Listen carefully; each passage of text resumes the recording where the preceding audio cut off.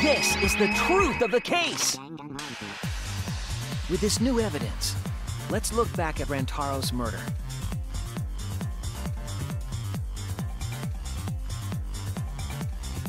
The night of the incident, Kaede and I were in the first floor classroom.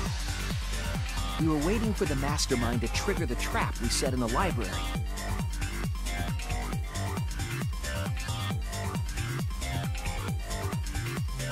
Around that time, there were four people in the dining hall, including the mastermind. The mastermind was probably irritated that no murders had yet occurred.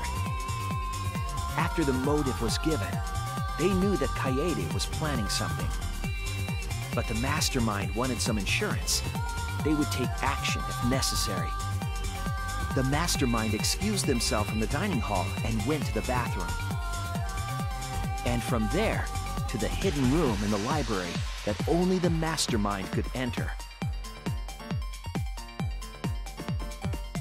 And there they waited. With less than an hour before the time limit expired, Rantaro moved the library's bookcase, which set off the receiver I was holding.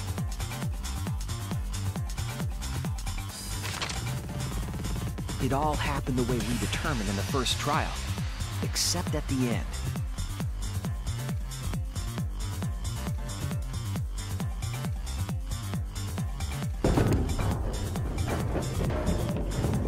I ran out of the room, and Kaede rolled the shot put ball into the air vent. At the same time, Rantaro was lured by the flash of the hidden camera Kaede set.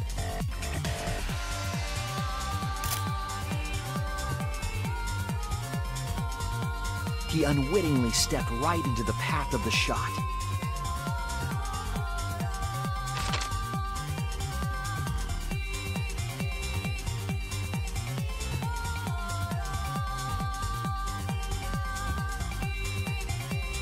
The shot rolled down the path Kaede made. And then...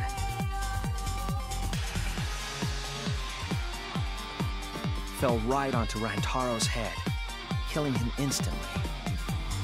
Or so we thought. It turns out that was just what the mastermind wanted us to believe.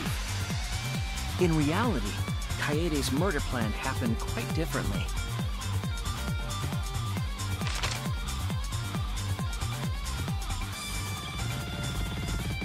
The shot put ball that Kaede rolled didn't actually hit Rantaro.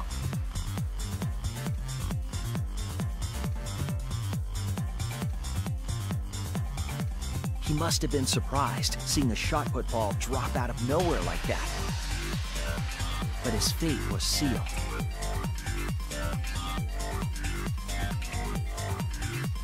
The mastermind saw that Kaede's plan failed and stepped in to finish the job. The mastermind jumped out of the hidden room and attacked Rantaro from behind. And in their hand, the real murder weapon, their own shot put ball.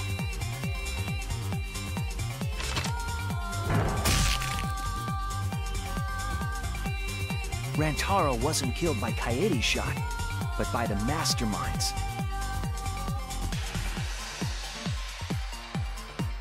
The mastermind picked up Kaede's shot and left their shot put ball at the scene.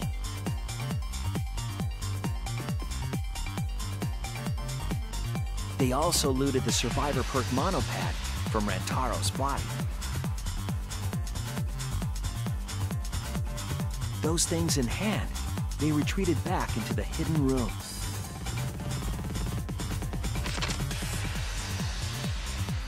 I remember seeing the bookcase closing just as Kaede and I got there. The mastermind had probably just finished their crime.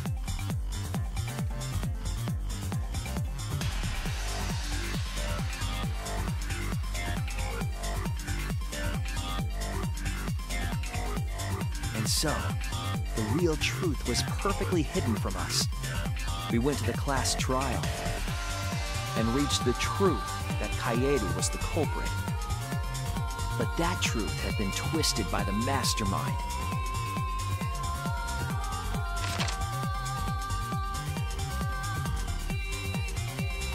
After the murder, the mastermind left the stolen monopad on the table in the hidden room.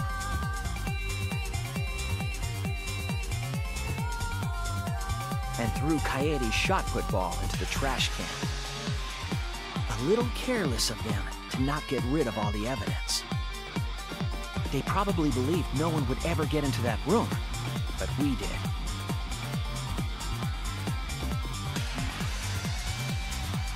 Their crime complete, the mastermind went back through the hidden passageway. The passageway led from the hidden room all the way to the girls' bathroom on the first floor. While the mastermind was pretending to use the girls' bathroom, they were actually using the hidden passageway.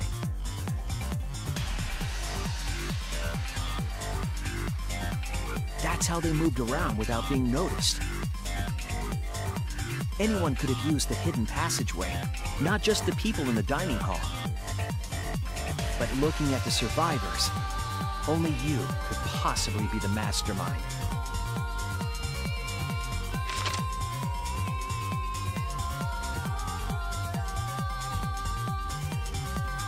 If I'm wrong, please, refute me. Please tell us you aren't the mastermind. Tsumugi Shirogane, the ultimate cosplayer.